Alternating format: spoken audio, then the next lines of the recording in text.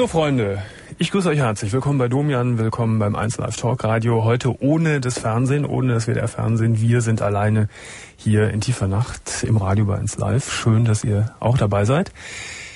Telefonnummer nochmal 0800 5678 111. Freie Themennacht, wenn ihr euch gerne mit mir unterhalten wollt, egal über was, dann ruft ganz einfach an oder faxt. Faxnummer 0800 5678 110. Peggy. Peggy ist Ja. meine erste Anruferin heute Morgen. Genau, Ne? Und sie ist 20 Jahre alt. genau. Bisher alles Treffer. Ja. Peggy, um was geht's? Es geht darum, dass ich ähm, meinen Freund zwei Jahre hatte. Nochmal, du Meine- deinen Freund? Was? Ja, mit dem war ich zwei Jahre zusammen. Zwei Jahre. Ja. Ja. Und ähm, ich hatte eine Freundin, also meine beste Freundin, 17 Jahre, mit der bin ich im Kindergarten und schon in der Schule und überall hingegangen. Ich liebe dich. Du Und- kommst aus Berlin, stimmt's? Ja, genau. ich mag sogar die Berliner Sprache. und auf jeden Fall ähm, ist er mit ihr durchgebrannt und ich bin im siebten Monat schwanger. Ja. Zwei Jahre mit dem zusammen. Mhm. Dann mit der besten Freundin durchgebrannt. Ja. Und danach schwanger. Ich bin im siebten Monat schwanger, ja. Und er hat die Schwangerschaft aber bis zum fünften Monat intensiv miterlebt und auch, ähm, sag ich mal, war beim Frauenarzt und ist überall mit mir hingekommen und jetzt ist nichts mehr. Seit zwei Monaten versuche ich ihn anzurufen, ich versuche mit ihm zu reden, ich komme nicht an ihn ran. Wer meldet sich denn, wenn du wieder anrufst? Da meldet sich gar keiner, weil wenn ich dann ran, wenn ich anrufe, lasse ich entweder meine Nummer über das Handy mitsenden und dann geht er erst gar nicht ran. Wenn ich sie nicht mitsenden lasse, dann legt er sofort wieder auf. Und hast du versucht, ihn zu besuchen, vorbeizugehen? Also ich sag mal, das ist 100 Kilometer von mir entfernt, so. wo die jetzt beide hingezogen sind. Ach so. Und ich bin mit meiner Mutter, also meine Mutter ist immer hingefahren, weil sie auch sehr guten Kontakt zu ihm hatte. Ja. Die haben sich eigentlich immer gut verstanden und sie haben über alles geredet. Aber äh, irgendwie, er wollte auch nicht mit ihr reden. Er hat einfach zu ihr gesagt, sie soll sich da raushalten. Und er Kann wollte das- einfach nicht mit ihr reden. Kam das, äh, ich habe da vorhin so zwischengequatscht, deswegen habe ich das nicht richtig mitbekommen. Kam das Schlag auf Schlag, dass der mit deiner Freundin angebandelt hat? Ja, das, das weiß ich eben nicht. Also Weißt du ich weiß nicht nicht, mehr? ob da vorher schon was lief. Mhm. Ich weiß nur, dass ähm, er freitags nach Hause kam. Das war, weil er ist Soldat. Mhm. Und ähm, kam von der Bundeswehr freitags nach Hause wie immer Mhm. und begrüßte mich nicht, hat mich nicht eines Blickes gewürdigt, hat seine Tasche gepackt und meinte so zu mir, ähm, lass uns reden. Mhm. Und ich so, wie jetzt? Und Da haben wir uns beide im Wohnzimmer hingesetzt und dann meinte er so, das geht nicht mehr und ähm, ich muss dir was sagen. Ich sag, was denn? Ähm, sagt er so, naja, ich habe mich in Dana verliebt, also meine Mhm, beste Freundin. Mhm. Mhm. Und dann hat dich der Schlag getroffen. Und Dana sich auch in mich und ich bin in Tränen ausgebrochen. Ich sag, du kannst mich da jetzt nicht einfach sitzen lassen. Ich, Ja. ich bin im, sieben, nach dem fünften Monat schwanger. Ja. Ich sag, und sie, sag ich, ist meine beste Freundin. Ich hab das irgendwo nicht verstanden, weil sie war vorher mit dem Bruder von ihm zusammen Mhm. und ähm, ich sag mal, ja, Bruder, Stiefbruder. Mhm. Und das hat wohl nicht so ganz geklappt und die sind dann nach einem halben Jahr auch wieder auseinander. Aber ich sag, wir waren zwei Jahre zusammen und Sag mal, Peggy, dann, bevor, Ja. bevor, bevor er dir das so kundgetan hat, Ja. wie, lief denn da eure Beziehung? Der sagte, es geht so nicht weiter. Hattet, ihr- hattet ihr noch Probleme miteinander? Ja, wir hatten eigentlich ja, Probleme. Ich sag mal, das waren Streitereien, kleine Streitereien wie in jeder Beziehung. Aber für ihn offensichtlich größere äh, Streitereien, oder? Ja, ich weiß es nicht. Also er hat, mh, ja, wir haben uns öfter auch gekabbelt wegen meinem besten Freund, weil er immer dachte, da ist was und da war aber nichts und Mhm. äh, ich habe ihm das auch hunderttausendmal versucht zu erklären, dass da wirklich nichts ist. Mhm. Und dieser beste Freund von mir, ich sag mal, mit dem habe ich mich dann doch wirklich nur noch getroffen, wenn er nicht da war, weil ich wusste, wie er reagiert mit Kann- seinen Eifersüchteleien. Kann das sein, dass er aus Eifersucht, die nicht begründet war, wie du es jetzt sagst, äh, aber dennoch, dass er aus Eifersucht sich an die beste Freundin dran gemacht hat? Ich weiß ja nicht, warum. Naja, das kann schon sein, aber sie Letz- ist meine beste Freundin und warum, warum ähm, Ja, ja. macht sie denn so? Sie weiß doch, dass ich eigentlich glücklich mit ihm Ja, war. ja, das ist natürlich ein ganz, ganz klarer, ganz klares Argument. Das ist ganz schlimm, dass die beste Freundin sowas macht. Sie war 17 Jahre lang meine beste Freundin. Ich Ja. habe ihr alles anvertraut. Hast Ich du denn hab mit der- ihr alles geredet. Hast du denn mit der jetzt äh, nochmal versucht, Kontakt aufzunehmen? Ich hab, ich hab es versucht, Domian. Ich, wie, was soll ich denn noch machen? Ich habe ihr einen Brief geschrieben. Ich habe geschrieben, lass uns bitte reden. Ich komme nach Frankfurt, lass uns drüber reden. Mhm. Sie hat mir darauf nicht geantwortet. Ich habe ihr eine SMS geschrieben. Ich sag, ich wirklich, ich sag, man kann über alles reden, aber lasst mich nicht jetzt hängen. Hast du Kontakt zu den, zu den Eltern von dem Jungen? Ja. Was sagen die dazu? Also, ähm, ich sag mal, ich habe zu seinen Eltern habe ich nicht gerade den guten Kontakt, aber zu seiner Oma. Mhm. Und seine Oma ist ähm, völlig deprimiert, weil sie gedacht hat, ähm, das hält für immer mit uns beide und irgendwo, denn das Kind ist ja dann auch noch da und das spielt eine wichtige Rolle, aber mhm. ähm, er meldet sich wieder zu Hause noch irgendwo, er ist wirklich nur bei ihr und redet mit keinem. Mhm. Also weder mit mir mhm. noch mit meinen Eltern. Mhm. Und mit meinen Eltern hat er eigentlich immer guten Kontakt gehabt mhm. und sich immer gut mit denen verstanden. Mhm. So, was ist jetzt zu machen? Was ist ja. zu machen? Ich glaube, du kannst erstmal kannst du natürlich den, den Kontakt nicht erzwingen. Du hast ja schon so viel angestellt. Mehr kannst du ja eigentlich gar nicht tun. Gut finde ich, dass du den Draht zu der Oma hast. Mhm. Von ihm. Äh, du bist in guten Händen. Du hast, bist bei deiner Mama, sagst du?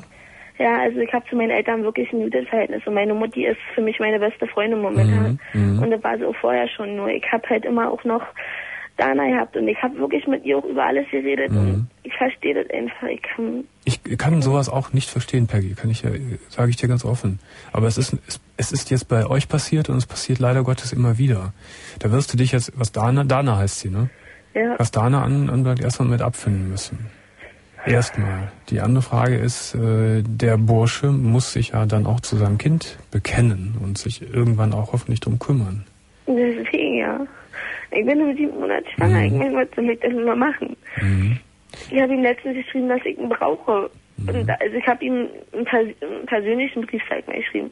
Und ich habe ihm noch hingeschrieben, ich, dass ich weiß, dass ich Fehler gemacht habe, dass ich die auch wirklich einräume. Mhm. Aber dass er seine Fehler auch einräumen muss. Mhm. Und wir wenigstens darüber reden sollten. Mhm. Und, und, nicht einfach so hoppla pop, dass er einfach weg ist. Und er hat nicht darauf geantwortet, nicht reagiert. Nein, er hat, ja. es kam keine Reaktion, mhm. Domian, überhaupt keine. Dann würde ich jetzt im Moment an deiner Stelle auch gar nichts machen konzentriere du dich auf dein, auf dein Kind, auf, dein, auf deine anstehende Geburt, dass das erstmal alles gut über die Bühne läuft.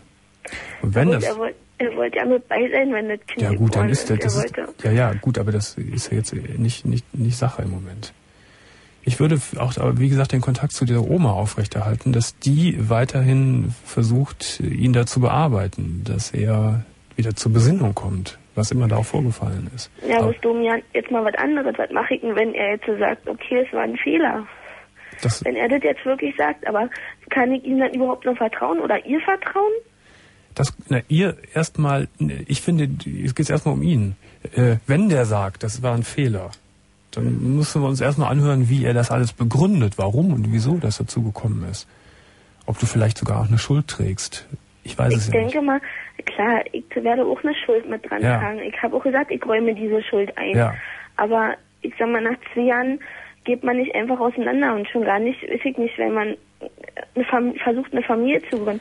Wir haben Peggy, das sehe ich auch so. Aber es gibt immer wieder Fälle, wo, wo äh, Menschen sehr verantwortungslos sind oder auch Männer verantwortungslos sind und das dann doch tun.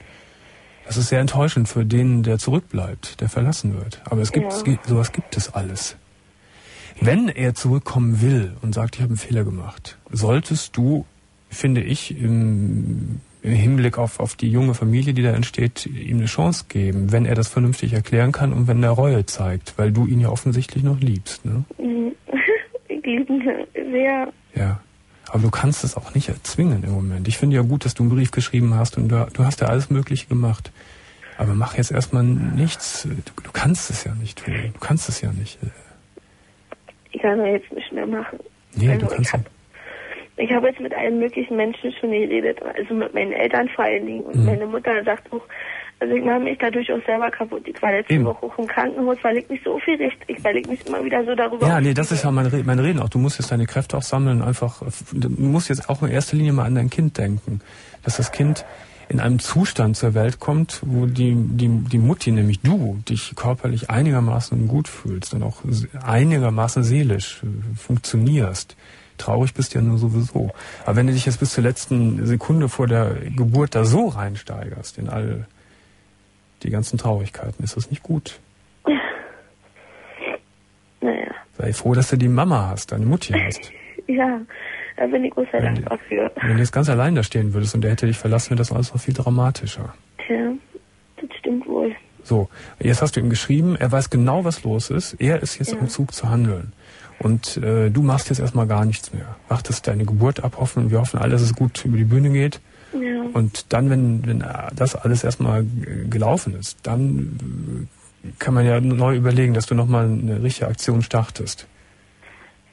Naja, das ist halt, wie gesagt, schwer, weil ich mittlerweile wirklich nicht mehr weiß, was ich machen soll. Ich dir schon die Hoffnung aufgegeben habe, dass ich ihn vielleicht das Gespräch führen kann. Vielleicht. Irgendwann mal. Und ich, meine Mama sagt auch jedes Mal zu mir, ähm, du musst jetzt an dich denken und an das Kind. Mhm.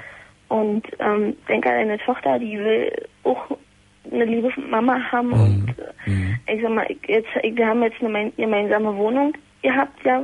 Und, ähm, weißt du, Peggy, vielleicht, vielleicht hilft auch ein bisschen, äh, du bist sehr traurig, aber du hast doch ja. allen Grund, richtig sauer zu sein und zornig auf ihn, ja.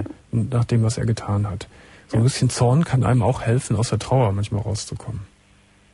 Ich aber ich mein, bin zu zornig. Ja. Also ich muss ganz ehrlich sagen, wenn ich im Moment, wenn ich dem Wegen gegenüberstehen würde, ähm, muss ich auch ganz ehrlich sagen, weiß ich nicht, was ich machen mhm. würde. Und ich mhm. habe mir auch schon manchmal mittlerweile gewünscht, dass ich nicht schwanger wäre. Mhm. Ja, aber das sind verständliche Reaktionen. Aber wenn du ja. ganz ehrlich in dich reinhörst, äh, freust du dich auch auf deinen. Na klar, ich weiß, dass das Kind da ist. Ich merke, ich weiß ja, ich, oder ich merke, ich merke ja, wie sie strampelt, wie, ja. sie, wie sie ihre Reaktionen auf manches abgibt. Und ich merke auch, wenn ich mich aufrege oder wenn ich mich zu sehr wieder ärgere oder weine, dass sie dann auch trampelt und, mhm, und mir genau. zeigt, hallo Mutti, ähm, hier, ich will nicht mehr. Genau, genau. So, und ganz toll wäre, wenn du mir jetzt versprechen würdest, äh, ich lasse erstmal die ganzen Aktionen sein und kümmere mich wirklich um mich. Ist okay.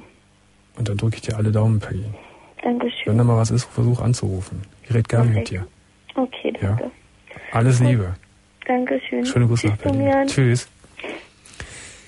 Telefonnummer 0800 5678 111. Hier ist Radio 1 Live mit der WDR Telefontalkshow Domian. Und wir haben eine freie Themennacht. Ihr könnt mich anrufen, wenn ihr gerne äh, euch unterhalten wollt mit mir, egal über welches Thema. Faxen könnt ihr auch unter 0800 5678 110. Bitte nicht vergessen, eure Telefonnummer draufzuschreiben, damit wir euch dann gegebenenfalls zurückrufen können. Ich begrüße herzlich Ralf und Ralf ist 24 Jahre alt. Guten Morgen. Guten Morgen, Domian. Äh, mein Thema ist äh, meine Freundin. Mhm. Und zwar kennen wir uns jetzt seit knapp zwei Wochen. Mhm. Ähm, bis jetzt ging das noch alles recht unspektakulär. Bisher ja. und zwar ähm, ist das so, wir haben uns kennengelernt über so einen SMS-Chat, über so einen Anbieter. Ja. Und haben da erst so ein paar Mal hinher geschrieben. Und seit knapp zwei Wochen sind wir eben auch äh, Real jeden zusammen. Tag am Telefonieren erstmal. Ach so, ihr habt euch noch gar nicht gesehen. Richtig, jetzt kommt der Knackpunkt. So, und äh, womit ich wieder reden wollte, ist eben der Punkt, äh, wir haben uns halt wie gesagt noch nicht gesehen. Mhm. Und seit ein paar Tagen gibt es uns also beiden also gleich. Und zwar jedem Tag, den wir tele telefonieren und nicht gesehen haben, steigt unsere Sehnsucht zueinander. Mhm. Ja, verständlich. Und äh, wir haben uns quasi jetzt, was ich halt nicht so ganz verstehen kann, auch schon, sag ich mal, uns verliebt. So richtig. Ja. Das Feste sogar schon. Und äh, ich hätte vorher nie geglaubt, dass sowas eigentlich gehen kann. So nur von Stimme zu Stimme? Ja, richtig, mhm. ganz genau. Du, du, hast, ihr habt euch auch noch keine, keine Fotos geschickt oder so? Sind wir jetzt dabei. Also morgen, sprich heute, möchte ich mal einen schicken. Oh, wie aufregend. Ich schicke auch eins. Und, äh, und am 19. Februar habe ich halt Urlaub. Und mhm. da fahre ich halt zu ihr hin, weil sie wohnt in Freiburg. Und du? Ich in der Nähe von Bonn, in Bad Breisig. Oh ja, das ist natürlich weit weg, ne? Ja, ist schon ein Stück, ja. Mhm. Und äh, naja, wir haben, wie gesagt, jeden Tag telefoniert, jetzt auch heute Abend wieder. Mhm. Und da hatte ich ja mal äh, davon erzählt, dass es halt diese Radiosendung gibt. Mhm. Also Domian Dich quasi. Mhm. Und da meinte sie, ja du, das wäre mal eine tolle Idee, da mal anzurufen mhm. und mit jemand darüber zu reden, was er davon hält. Mhm. Ob denn sowas sein kann und äh, wie, wie dumm. man sowas nehmen kann jetzt. Wie dumm, dass wir heute nicht im Fernsehen sind. Das heißt, in Freiburg kann sie uns nicht empfangen im Radio. Nee, das nicht, aber ich nehme es auf. Achso, das ist gut. Also die die Problemstellung und die Frage ist, gibt es sowas, dass man sich verknallt innerhalb von zwei Wochen nur am Telefon oder wie? Ja, genau. Ja, klar gibt's das. Ja, genau. Und das ist, äh, man kann es ihnen nicht so richtig glauben jetzt. Also hätte mir das mal einer vorher gesagt, dass ja. sowas sein kann, mhm. hätte ich gesagt, äh, das kann nie im Leben sein. Also ich, ich bin hundertprozentig davon überzeugt, dass das möglich ist, wenn man, wenn man viel mit jemandem telefoniert, dass, äh, dass man da hohe Sympathie, wenn nicht sogar eine Verliebtheit empfindet. Aber das ist ja nur eine sinnliche Ebene, nämlich das Hören. Äh, Der nächste Punkt ist jetzt, äh, wie wird das sein, wenn du ihr Bild siehst oder wenn sie äh, dein Bild sieht? Ne? Dann, wir funktionieren ja nur auch optisch und ja, genau. visuell. Ne? Ja, das hat sie eben auch schon gesagt, dass du da eben... Vielleicht äh, stehst du gar nicht auf sie. Oder vielleicht steht sie gar nicht auf dich. Kann ja auch sein. Ja, darauf komme ich jetzt noch. Und zwar, ähm, sie hatte auch schon große Angst, dass sie mir nicht gefallen... Äh, doch, dass sie mir nicht gefallen kann, mhm. könnte. Oder umgekehrt. Oder umgekehrt. Ja. Aber ist halt ihre Angst halt was größer. Ja. Und ich habe zu ihr schon gesagt, also so gern wie ich sie jetzt schon habe oder, oder so wie ich sie eben schon lieben tue jetzt, ähm, da könnte sie quasi fast schon noch so hässlich sein. habe ich so das Gefühl jetzt so in mir jetzt. Ne? Mhm. Gut, wenn ich sie sehe, wird es was anderes sein, aber ich nehme an, also so wie sie sich beschrieben hat, und das hat sie ja auch ehrlich gesagt und gemeint, mhm. äh, sieht so wirklich hübsch aus. Mhm. Wie hat sie sich denn beschrieben? Ja, sie hat sich beschrieben, also 1,75 groß, mhm. ich meine 80 Kilo, so hat sie noch gesagt. Wie viel? 80? 80, ja. Mhm. Und äh, lange, glatte, braune Haare, hat sich extra noch glatt ziehen lassen und so. Ja. und äh, hat sie eben Angst, dass sie eben, dass ich ja halt nicht gefallen könnte. Ja. Und, aber die versuche ich eben die ganze Zeit schon zu nehmen. Ja, wobei man die auch nicht so ganz nehmen sollte. Ich meine, ein gewisses nee, Risiko, ein Risiko ist da, da müsst ihr beide mit leben. Es kann durchaus sein, dass ihr, wenn ihr euch seht, oder vielleicht sogar, wenn ihr euch gegenübersteht, dass ihr dann erkennen müsst, wir finden uns nett, schätzen uns, sind vielleicht gute Freunde oder Kumpels könnten wir werden, aber mhm. so für Liebe und, und Sexualität ist das Reizschema einfach nicht so da. Kann ja sein. Damit müsst ihr leben. Ja, nee, klar, das stimmt. Ne, dass die Spannung jetzt, bis, bis ihr euch denn mal wirklich äh, seht. Ich meine, mit dem Foto ist schon mal ganz gut morgen. Ja, klar, nee, also das haben wir auch schon schnellstmöglich eingefädelt. Dann haben wir wenigstens das schon mal machen können. Mhm. Vor allen Dingen dann äh, hat sie Ruhe, ich habe Ruhe. Mhm. Da haben wir das eine Thema eben schon mal weg jetzt. Und dann können wir uns eben wirklich darauf konzentrieren, dass ich eben dann jetzt Ende Februar eben so hinfahren kann. Sind ja noch knapp zwei, gut zwei Wochen, ne? Dann mhm. Ja, ist ja noch ein bisschen hin bis dahin, ne? Ja. Weil, wie gesagt, ich bin auch berufstätig, ich brauche da eben auch Urlaub dafür. Ja. Und, äh, also Ralf, ich glaube durchaus, dass, dass es sowas gibt, dass mhm. man das kann. Äh, aber ich würde auch mir das so im Kopf weiter als Möglichkeit offen lassen, dass man sich vielleicht nicht gefällt gegenseitig. Ne? Ja klar, also die Möglichkeit kann schon bestehen. Das ist wichtig, dass man die Möglichkeit so offen lässt, äh, um nicht zu enttäuscht äh, zu sein hinterher. Ja gut, das ist stimmt stimmt. Also das ist dann auch ihre Angst, dass ich halt zu enttäuscht von ihr sein könnte jetzt ja. und sage, nee du, ähm, sorry, aber aber das Gefühl habe ich irgendwie überhaupt nicht. Also Na, bei mir ist es so, ich habe meistens, äh, was so Menschenkenntnisse angeht, eigentlich bisher immer recht gehabt. Mhm. So, also ob ich mit gesehen habe oder nicht. Mhm. So und vielleicht ist es das, worauf ich eben ein bisschen baue jetzt halt, ne? Ja klar. Also, ich will geht jetzt mal. Nicht so lange enttäuschen jetzt, weil sie hat eben schon mehrere Enttäuschungen hinter sich. Ja. Na gut, aber du kannst auch nicht äh, sagen, ich finde dich scharf, wenn du sie nicht scharf findest. Ne? Nee, klar, das ist richtig. Das, also, das so ehrlich werde ich schon auch sein. Also, jetzt, jetzt kann man eh nichts weitermachen, als sich erstmal das Foto angucken und dann mhm. die zwei Wochen abwarten. Ja, klar. Und äh, ich hoffe, dass es klappt bei euch und dass es reinschlägt. Richtig. Ja, das hoffe ich auch. Also, Volle Kanne. Wie heißt sie denn? Bitte? Wie heißt sie mit Vornamen? Sarah. Sarah, in der Nähe von Freiburg. Genau. Wohnt sie. Also wenn, Sarah, wenn du dieses Band dann mal irgendwann hörst, schöne Grüße von mir und ich wünsche euch beiden wirklich viel Glück. Aber auch die äh, Gradlinigkeit, wenn ihr euch nicht so gefällt, dass ihr das dann auch offen sagt. Das ist wichtig. In diesem Sinne, Ralf. Ja, danke schön. Selber machen. Alles Gute. Ja, alles Tschüss. Gute. Tschüss. Harald, 38 Jahre. Guten Morgen. Hi, Domian. Alles klar bei dir? Das geht ja rasant los. Ja, ja, ja. ja. Ich hoffe du bei dir. Ja, bitte. Ich hoffe bei dir auch. Ja, bei mir immer. Bei immer. Mir immer. Du hattest das letzte Mal so ein furchtbar interessantes Thema. Ich glaube, letzte oder überletzte Woche. Äh, ich hoffe, du kannst mich mit meinem etwas fränkischen Dialekt verstehen. Ach, wunderbar. Wunderbar. Wunderbar. Äh, und zwar, äh, ich glaube, Bewusstsein oder Unterbewusstsein oder, oder sowas in dem Thema hast du ein festes Thema gehabt. Nee, so richtig nicht. Aber egal, sag mal, um was es geht. Ah, auf jeden Fall, äh, ich wollte dir mal fragen oder beziehungsweise erzählen, was ich habe. Ich habe äh, ein Schlafapnoe. Ich weiß nicht, ob dir das was sagt. Was, eine Schlafakne? Nein, ein Schlafapnoe. Ein Schlafapnoe? Ja. Nee. Äh, das Apnoe, ein Schlafapnoe. Ja, man hört während des Schlafens, äh, Männer schnarchen ja meistens. Ja. Und die äh, Männer hören auch meistens einmal auf zu, zu schnaufen. Sie halten also mehr oder weniger die Luft an. Ja. Und diese Krankheit habe ich. Habe Ach, Behinderung. Ich weiß, ich weiß, ich weiß. Da besteht auch die Gefahr, dass man erstickt, ne? Äh, nein, es ersticken weniger. Sondern es ist die Gefahr da drin, dass du äh, sozusagen äh, nicht ausgeschlafen bist. Mhm. Du, du, bist ständig müde, du bist ständig am, am äh, du legst dich neun Stunden hin, schläfst neun Stunden durch, stehst auf und meinst, dich hat der Panzer überrollt. Ah ja. Mhm. Du bist ständig äh, ich habe mich in die Badewanne gelegt, äh, bin hergegangen, habe äh, gebadet, bin in der Badewanne eingeschlafen, bin auf die Toilette gegangen, bin eingeschlafen. Weil du so müde bist, weil du nachts nicht schläfst. Weil du keinen durchgehenden Schlaf mhm. hast, dich nicht mehr erholen können. Aber in der Nacht merkst du das nicht, dass du äh, nicht richtig schläfst. Nein, nein, nein, nein, merkst du nicht. Weil du ja dich hinlegst, mhm. du schläfst, du schnarchst normal, nur hörst du zwischendrin das Schnaufen auf. Mhm. Und das äh, Schlimme an der ganzen Krankheit... Was heißt denn jetzt genau, du hörst das Schnaufen auf? Ja, richtig. Ja, was heißt das genau? Ich habe im Schlaflabor einen Test durchführen lassen. Ja. Und in diesem Schlaflabor wurde festgestellt, dass ich 422 Mal das Schnaufen aufgehört habe. Was heißt denn Schnaufen? Atmen oder was? Atmen, ja, Atmen. Mhm. Ja, aber mhm. ich habe in der Nacht 422 Mal Atempausen gehabt. Und durch diese vielen Atempausen hat man ein, eine so schlechte Schlafqualität? Äh, ja, ich habe einen Blutsauerstoffwert von null gehabt.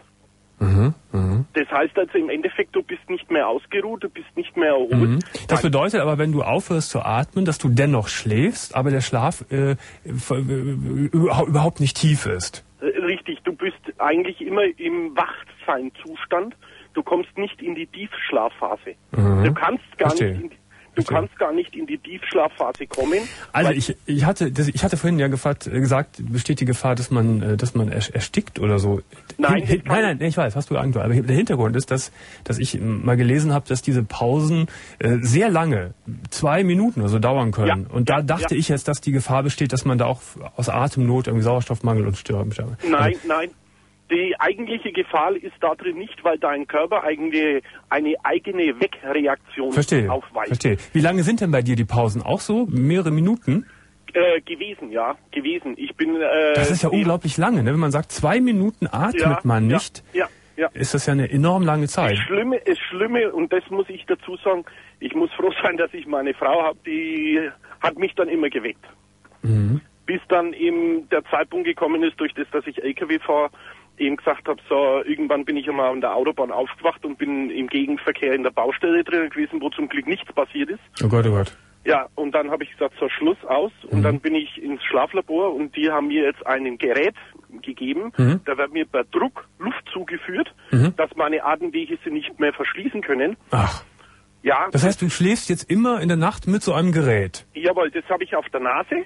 Ja. Und das also ist eine so eine Nasenmaske. Ja. Da wird mir mit einem bestimmten Druck Luft zugeführt, dass meine Atemwege hinten im Hals nicht mehr zufallen können. Ja, und das wird wahrscheinlich von irgendeiner kleinen Maschine gemacht. Hängt die dann an deinem Bett, diese Maschine? Die steht neben meinem Bett oder jetzt wieder im LKW kann ich sie mitnehmen. Da ist es dann überhaupt kein Problem. Wenn du im LKW hinten pennst. Ganz genau, mhm. ganz genau. Macht die laute Geräusche, diese Maschine? Nein, nein, nein, nein. Ganz, ganz leise, ganz angenehm. Das heißt, deine Frau kann ruhig daneben schlafen? Die schläft seitdem wie, wie, wie Engel. Schläfst du denn, schläfst du denn seitdem auch wie ein Engel? Ja, ja, ja. Ich bin ein neuer Mensch. Ist es wahr? Ich, Jürgen, ich muss dir sagen, ich bin früh aufgestanden nach acht Stunden Schlaf. Nur ja. mal einen Urlaubstag, dir kurz erzählt, ich weiß, du bist in Zeitdruck. Äh, einen Urlaubstag haben wir erzählt, früh aufgestanden, nach acht Stunden schlafen, ja. gefrühstückt, aufs Sofa hingelegt, wieder geschlafen, Mittag aufgestanden, ein bisschen was gegessen, hingelegt, wieder geschlafen, abends was gegessen, wieder geschlafen. Also die ganze Lebensqualität war total am Ende. Miserabel. Ich habe zwei Kinder zu Hause. Meine Kinder, die haben zu mir gesagt, Babi, mit dir kann man immer nichts mehr anfangen. Mhm.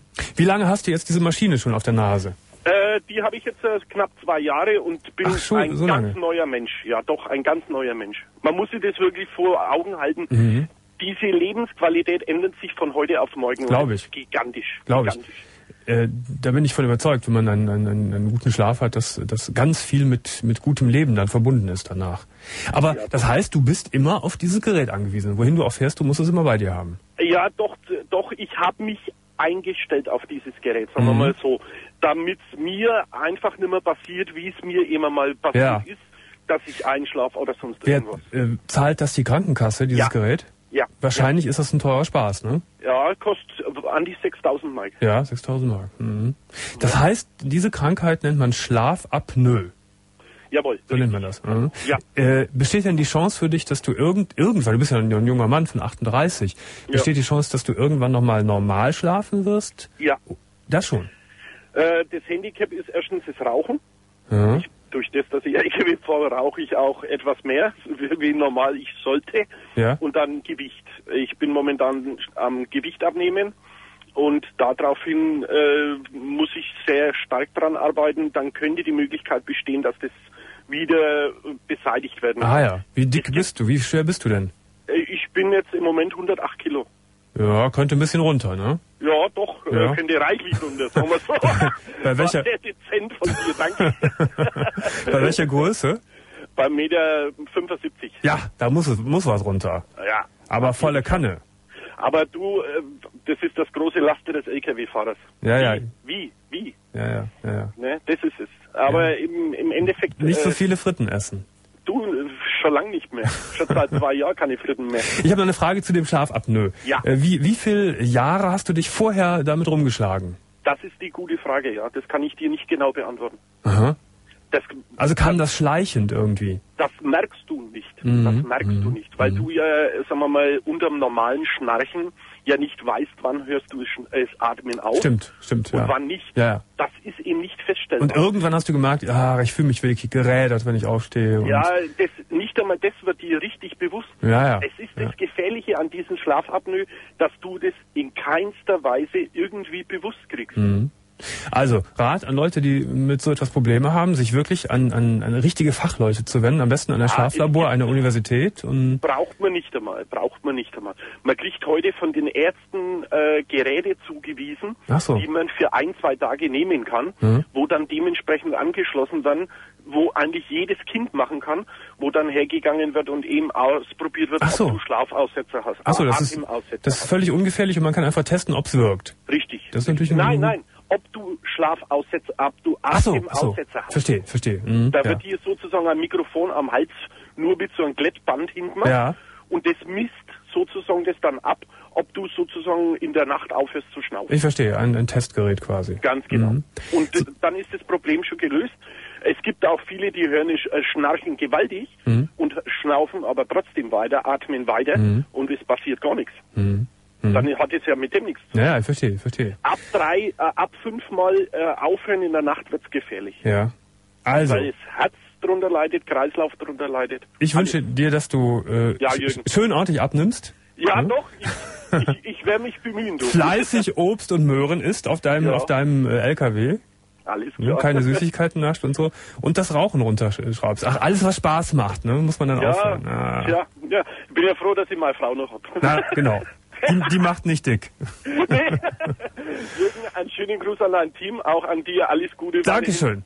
Ich danke dir herzlich. Und toi, dir toi, auch alles Gute. Danke. Tschüss, Harald. Jo, tschüss.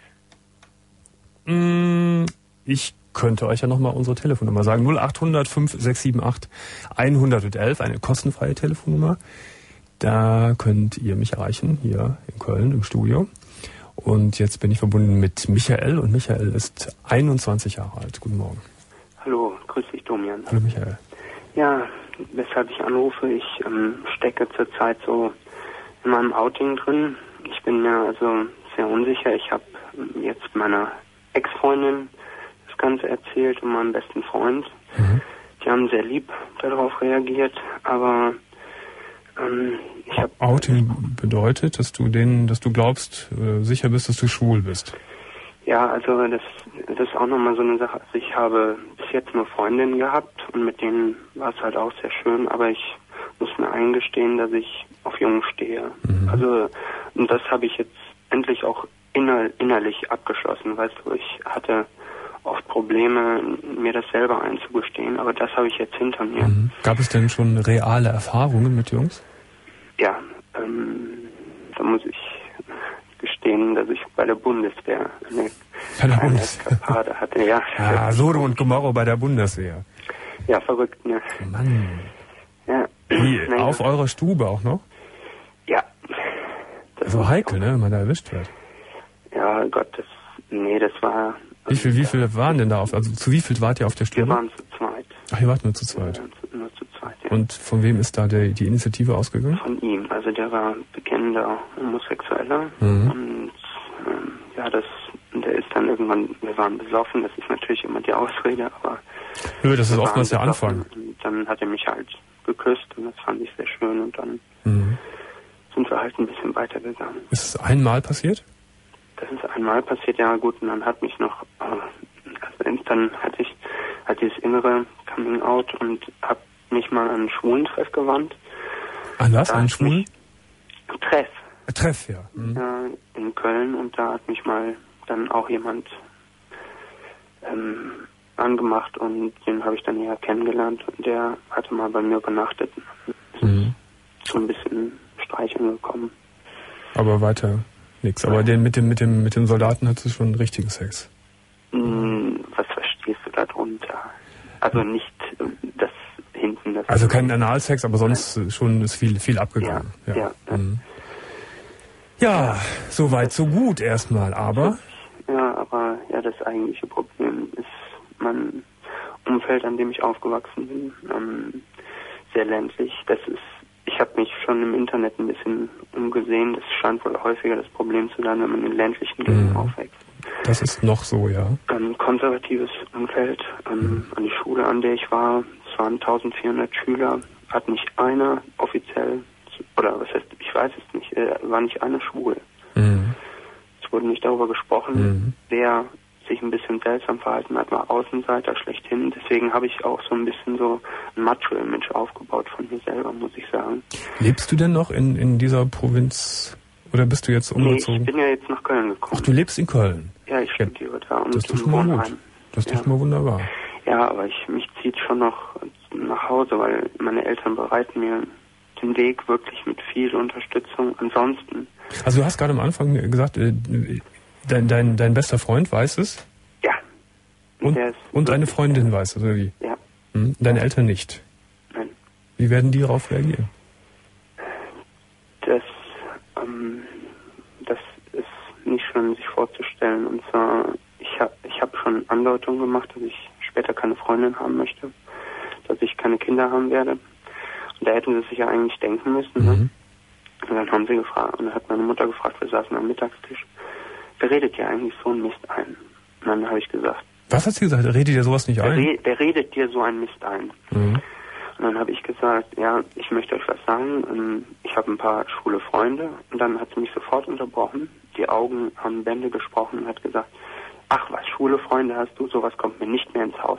Du weißt das selber ganz genau, schwul, das ist doch richtig abartig. Mhm. Und was kam noch? Ähm, und dann kam noch, Moment, Moment, schwul, so abartig. Ja, das, das langt ja auch. Aber das ist schon ganz gut. Das heißt, letztendlich. Äh, Ach ja, Moment, Moment, ich weiß wieder. Es, äh, genau, äh, Schwulsein, es ist doch heute nur so ein Trend. Das äh, machen die doch nur, um irgendwie aufzufallen. Mhm.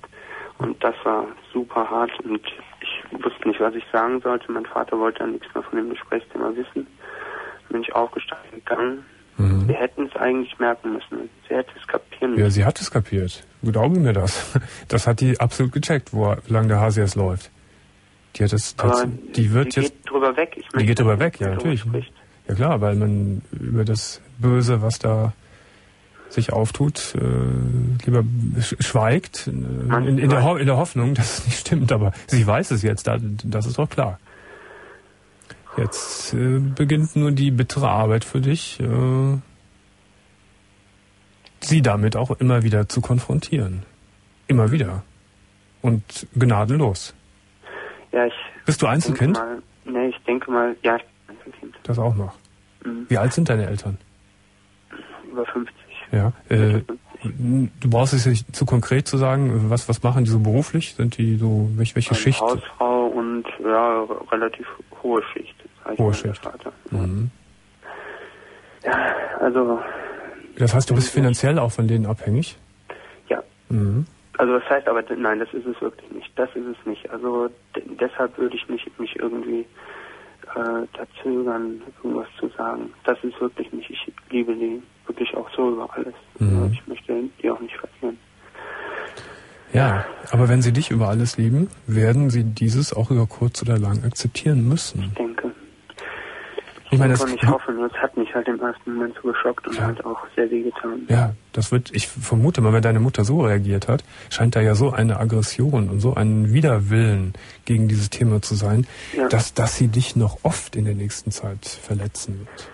Ja, ich hoffe, dass ich ah. einen Freund hätte, also habe oder hätte, weil jetzt glaube ich, nachdem ich für mich selber das so gefunden habe, dass ich jetzt eher halt auch auf Jungssuche gehe.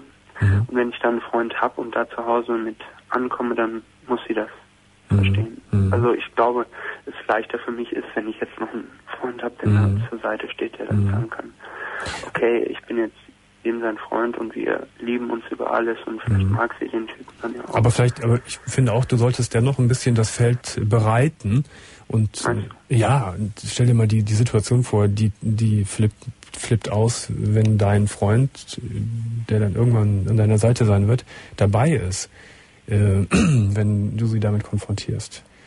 Äh, ich meine, der erste Schritt ist getan. Es ist in der Welt. Das Wissen ist jetzt in der Welt darüber, bei ihr. Ja. Und das wird dich schon beschäftigen. Und du kannst es ja erstmal ein bisschen jetzt noch brodeln lassen bei ihr und bei Gelegenheit nochmal so das unten wieder ein bisschen unterschwellig oder auch direkt sagen, wenn es passt. Mhm. Und steht da, äh, Tropfen hüllt den Stein. Ne? Schon ein alter Spruch, der, der aber wirklich stimmt. Ja, vielleicht. Das es, ist, es ist schwer, ich meine, du weißt das mit Sicherheit. Ja, ich weiß es, ich weiß es selbst, ich weiß es ja aus eigener Erfahrung. Ja, äh, ich tue mich halt äh, jetzt viel in Internetchats und so um Hilfen und so. Und ich habe jetzt, aber du hast mir jetzt also wirklich erstmal die Augen geöffnet, dass vielleicht sogar meine Mutter jetzt wirklich schon teilweise weiß, dass ich sie jetzt damit nur noch mehr konfrontieren muss. Ja, das glaube ich schon. Ähm, und das ist, ist eine Phase, äh, die unter Umständen lange andauern kann und wirklich sehr, mhm. sehr nervig und sehr schmerzhaft sein kann und sehr demütigend für dich vielleicht auch werden wird. Mhm. Aber ich ja, weißt du, möchte dir aber auch nur raten, auch bei aller Liebe und bei allem Respekt deine Eltern, ja. mit der, mit, mit, wirklich mit Härte, mit Härte und Vehemenz zu dir zu stehen und sie damit ja. zu konfrontieren. Okay. Und ihr klar zu machen, wie weh sie dir tut, wenn sie ihre Moralvorstellung dir aufzeigen will. Ja, vor allem, ich, ich habe auch ein bisschen Angst vor dem Schwulsein, aber ich denke mal, das ist auch normal. Das ist auch normal. Weil man sieht immer dieses Token-Image und das finde ich also ja. Da würde ich jetzt an der Stelle auch ganz gelassen rangehen und nicht auf Biegen und Brechen jetzt Erfahrung sammeln wollen, unbedingt Männer aufreißen und so. Macht ja. mal ab, es gibt genügend, genügend wirklich sehr nette Schwule, die nicht in diese, in diese Szene verkehren und ja. die wirklich wunderbare Männer sind und die wirst du irgendwie kennenlernen an der Uni oder weiß ich wo. Gar ja. nicht mal nur in schwulen Kreisen. Lass das mal langsam auf dich zukommen. Danke. Hm. Alles Liebe, Michael. Ja, vielen Dank, Domian. Alles Gute. Tschüss. 1.38 Uhr und 30 Sekunden. Jetzt machen wir eine kleine Pause.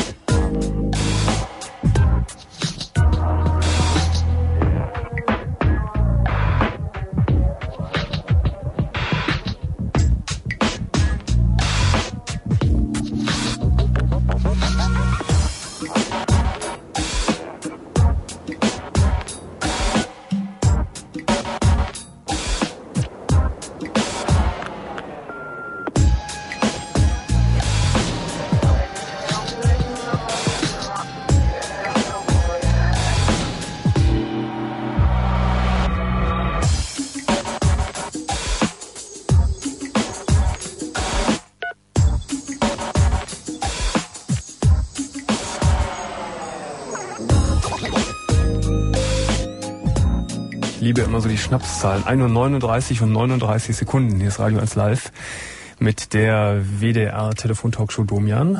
Wir haben heute Nacht eine freie Themennacht. Ihr könnt bei mir anrufen, wenn ihr gerne mit mir reden wollt, ganz gleich über welches Thema. Telefonnummer 0800 5678 111 und ich freue mich, dass jetzt hier bei mir zugeschaltet ist Jenny. Ja, hallo Jürgen. 21 Jahre alt, guten Morgen. Ja, guten Morgen Jürgen. Hallo. Hallo. Um was geht's, Jenny? Ja, um meine große Liebe. Um deine und, große Liebe? Ja. Erzähl mal und, ein bisschen. Und zwar ist es ein Arbeitskollege von mir. Mhm. Und ähm, wie alt? 34. Mhm. Und ähm, wir kennen uns jetzt seit einem Jahr ungefähr. Mhm. Und ähm, am Anfang konnte ich ihn eigentlich gar nicht leiden.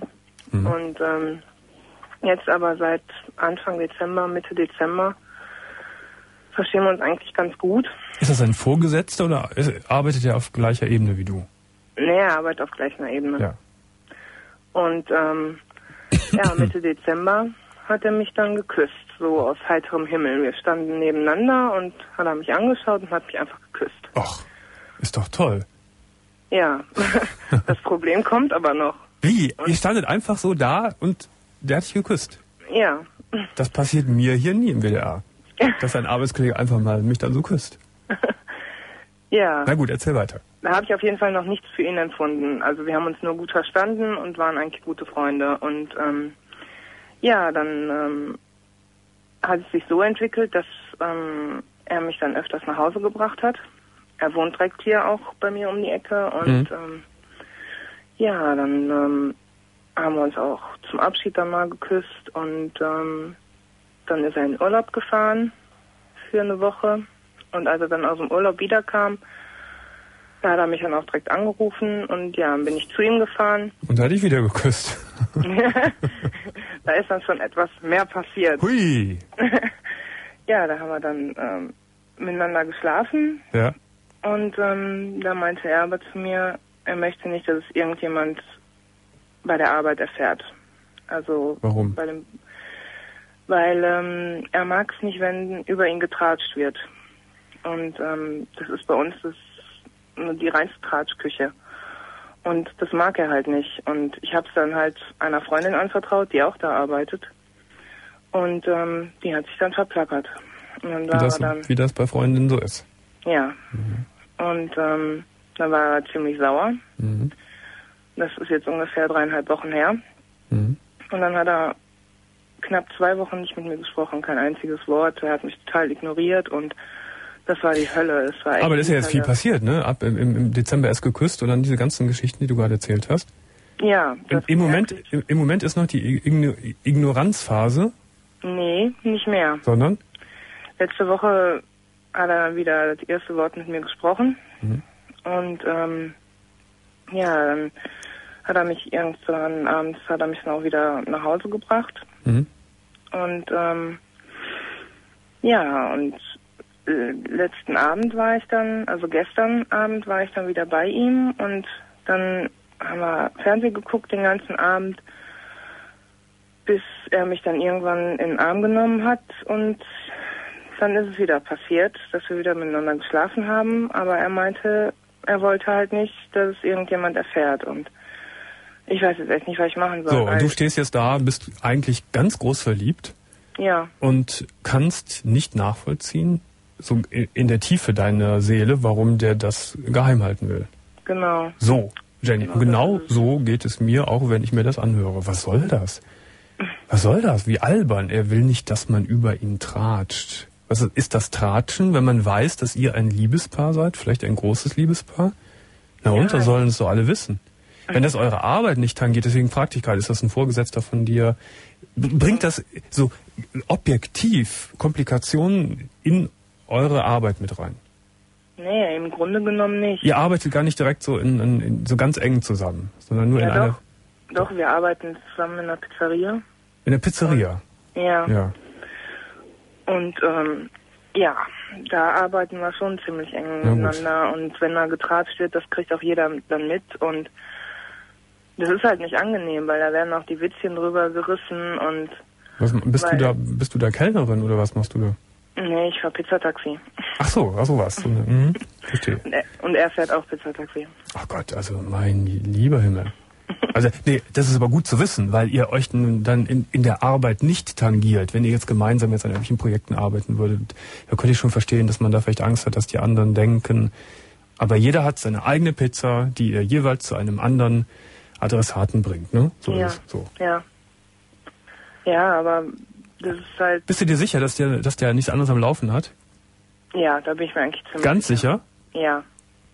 Mhm. Ganz sicher. Ja, vielleicht.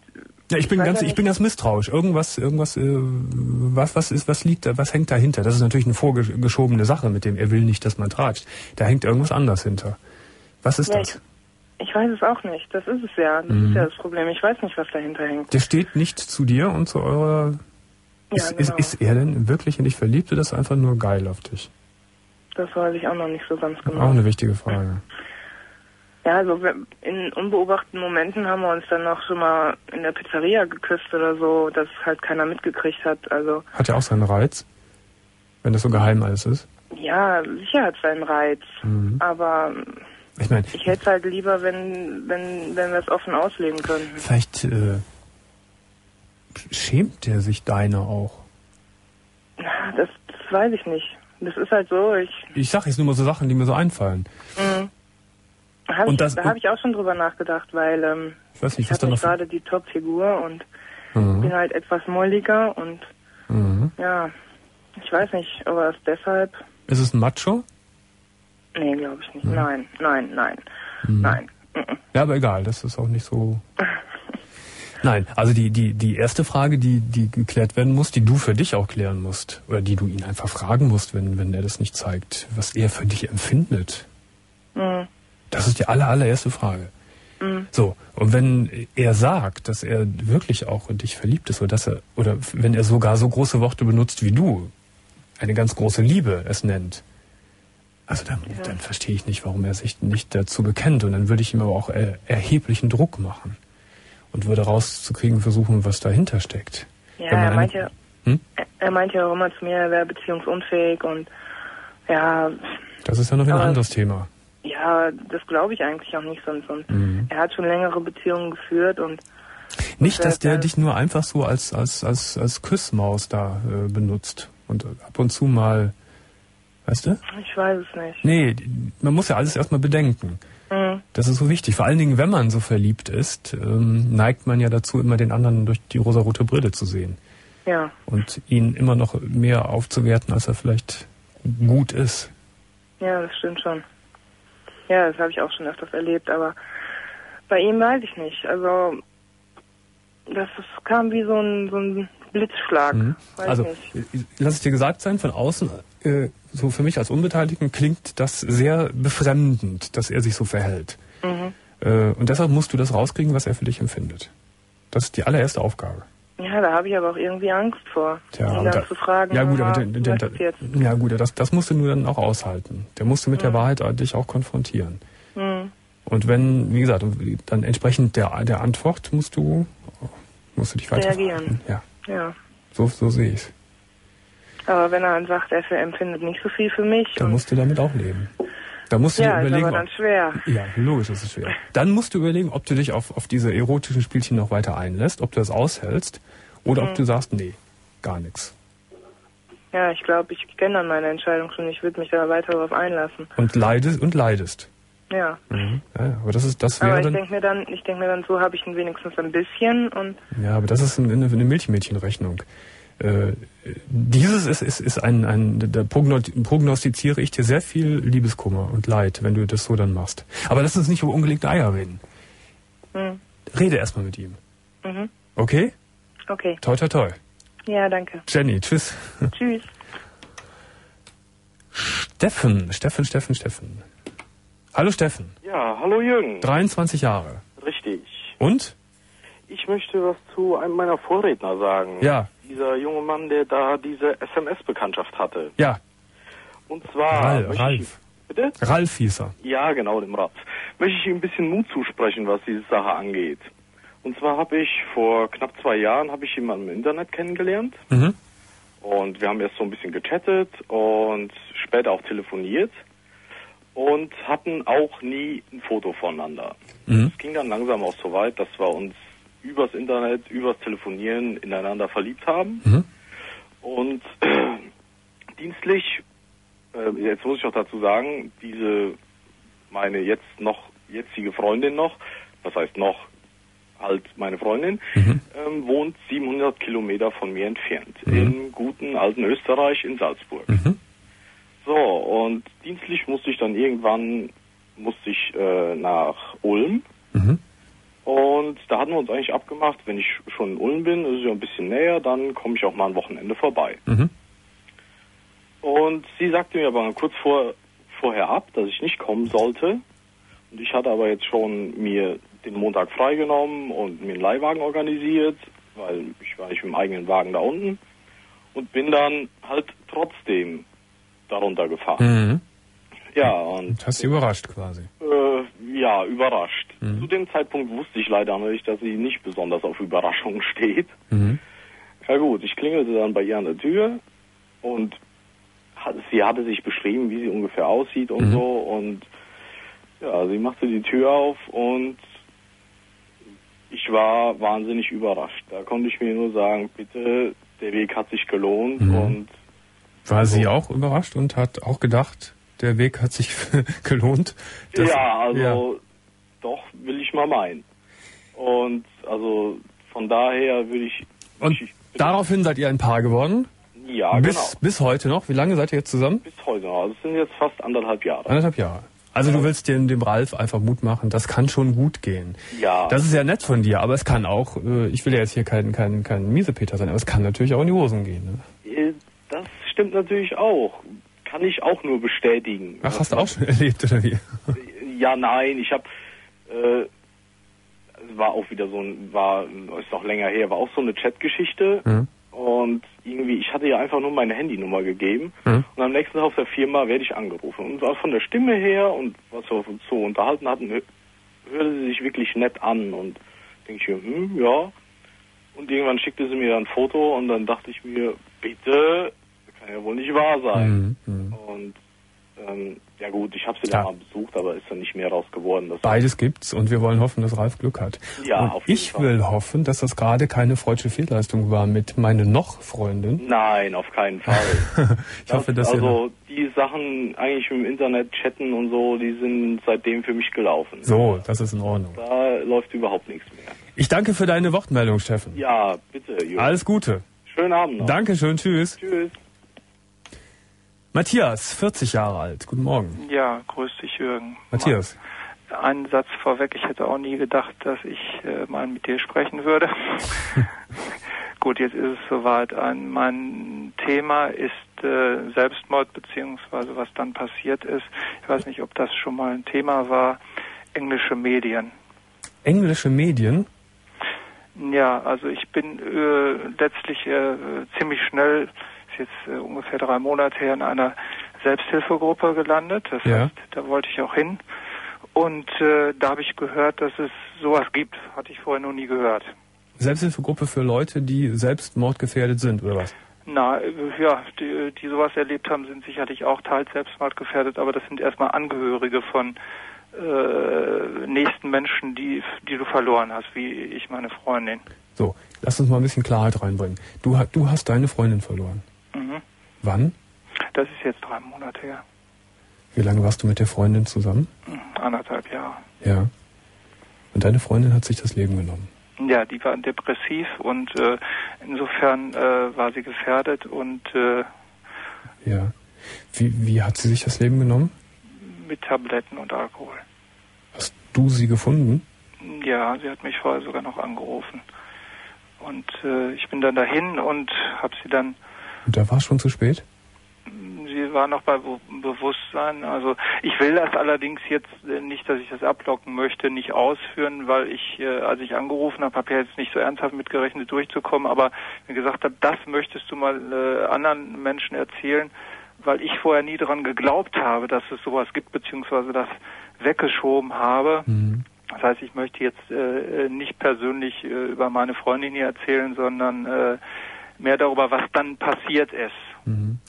Ich will es auch nicht, ich will dich auch nicht bedrängen, aber nur, ich, ich glaube, dass man so den, den, den Hintergrund besser versteht, dessen, ja. was du gleich erzählen wirst. Äh, deine Freundin ist dann, obwohl sie noch bei Bewusstsein war, ist dann verstorben. Ja, das war, das sind alles so rationale Überlegungen, was ich jetzt sage. Das kann man sozusagen nicht nur von zwei Seiten sehen. Da gehen dir tausend Gedanken durch den Kopf. Du kannst es auch recherchieren, war es so oder war es anders. Es sieht so aus. Mhm. dass es sozusagen zu spät war, dass, dass es ein Unglück war. Das heißt, äh, dass die, die, die Wirkung von die, diesem Cocktail, kann man mhm. sagen, zu heftig war und äh, in dem Fall glaube ich, dass, dass sie gemerkt hat, oh, irgendwann kommt der Punkt, wo du Angst kriegst, totale mhm. Angst offensichtlich, mhm. wenn jemand, der zwar todesnah ist, aber vielleicht ist doch nicht so richtig ernst mhm. meint, was mhm. ihm einfach dreckig geht und du total verwirrt bist. Und äh, wenn du dann noch sowas hast, wie merkst, oh, ich will es ja gar nicht, aber es gibt kein Zurück. Mhm. Und da hat sie bei dir angerufen. Ich, ich denke, dass das der Punkt Verstehe. ist. Jetzt ist das Ganze ja noch sehr frisch. Drei Monate ist ja nichts, wenn man so eine tragische Sache erlebt hat. Mhm. Was ist jetzt danach passiert mit dir? Äh, du fragst jetzt, wie es mir geht. Ja. Also mir geht's äh, ohne Wenn und Aber äh, streckenweise sehr dreckig einfach. Äh, ich wusste auch nichts darüber. Ich sag mal eine Zahl, ich weiß, ich weiß nicht, ob das stimmt, ist auch nicht so wichtig. Es sollen sich weltweit jedes Jahr eine Million Menschen umbringen, weil mhm. umbringen ist auch so ein ungenauer Begriff, mhm. die auch die Entscheidung treffen, eben, dass sie mhm. jetzt gehen. Mhm. Sag ich mal, ist ja ihre Entscheidung, in Anführungsstrichen. Was war, jetzt dein, was war jetzt dein Hauptanliegen, äh, dich mein, hier zu melden? Mein Hauptanliegen ist das, ich bin äh, auf der einen Seite auch sehr ein Kopfmensch, mhm. habe mich aber über meinen äh, Lebensweg auch dem äh, so spirituellen Dingen so mit der Zeit ein bisschen mehr geöffnet. Mhm. Hab äh, kurze Zeit bin eigentlich auch sehr aktiv. Das heißt, wenn irgendwas passiert, entweder hängst du im Loch oder du machst was. Bin äh, das ging ziemlich kurz danach, habe ich über, über Selbsthilfekontakten, äh, Gruppen Kontakt gekriegt zu einer Selbsthilfegruppe Suizid, also Argus heißt die. Wir müssen das mal ein bisschen zusammenfassen. Und Matthias da habe ich auf jeden Fall von, von, das ist mein Thema, von den englischen Medien gehört. Da war so, und jetzt verstehe ich das auch. Wir meinen nicht die englischen, äh, die englischen Zeitungen, die Presse, sondern wir meinen äh, Menschen mit einer spirituellen Begabung. Richtig. Äh, die, so geben sie vor, oder so glaubt man, Kontakt zum Jenseits aufnehmen können. Ja, und, und ich, unter anderem.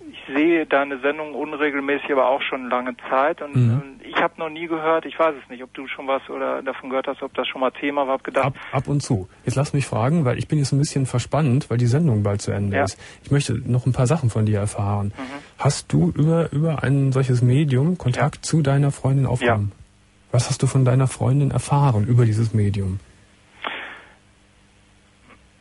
erstmal, dass es ein Unfall war, dass sie gar nicht sterben wollte. Mhm. Und dann der Punkt, ich habe mich versucht darauf einzulassen, erstmal gar nichts zu erwarten und es ist dann ein Punkt gekommen, wo alle Dämme gebrochen sind. Das heißt, da sind Namen gefallen, die niemand wissen kann. Mhm. Mhm. Niemand. Mhm. Und das war die Überzeugung dann für dich, das stimmt, das kann kein Humbug sein. Das hat mich zumindest nochmal ganz schön aus der Bahn geworfen, Verstehe. weil das ist unfassbar, dass dir ein Mensch, der, ich meine, das kostet auch Geld, ganz ja. klar, wenn du da hingehst, 150 Mark, kann ich mal konkret sagen, ja. für eine halbe Stunde und wie gesagt, so ein gewisses kritisches, was ist das überhaupt, stimmt das überhaupt, kann das denn überhaupt sein, das habe ich natürlich mitgebracht. Aber dann auf einmal kommt der Punkt, wenn er sagt, äh, die Schwester heißt. Mhm, mhm. Nachdem du das jetzt, nachdem du, sagen wir es anders, nachdem du doch äh, in gewisser Weise beeindruckt bist von dem, was da geschehen ist. Hast du den Eindruck, dass es deiner Freundin gut geht jetzt? Ja, die aus ist auch klar. Das habe ich ja alles natürlich gefragt. Mhm. Ne? Und es, es geht ihr sehr gut. Das heißt, wenn das Körperliche von dir abfällt und äh, die Probleme, die du in diesem Leben hast, äh, ja, die sind nicht mehr mhm. da. Hat sie dir eine, eine Botschaft ja. übermittelt für dein Leben? Auf jeden Fall. Nämlich? Das ist ein schöner Ausklang für die Sendung wahrscheinlich. Die heißt ganz klar, lebe und äh, das ist alles unwichtig, was vorher geschehen ist. Sie hat mir gedankt und äh, gesagt, dass sie mich unendlich liebt, also so wie ich mhm. sie weiterhin auch liebe. Es klingt sehr pathetisch, aber äh, nein, aber es klingt aber auch so, dass äh, dass es für dich, glaube ich, auch einfacher ist, mit der Trauer zu leben. Ne? Ja klar, das, das ist ein Grund, hat. warum sicher ja auch ich dahin gegangen bin. Ja. So, Matthias, ich würde jetzt wirklich gerne mit dir weiterreden. Es geht leider nicht, weil wir gleich am ja. Ende sind. Ich okay. bin trotzdem froh, dass, dass, dass wir haben sprechen können. Ja. Von Herzen alles Gute. Ja, auch. Von Herzen, Matthias. Auf Wiederhören. Bis dann, ne? Tschüss. Tschüss.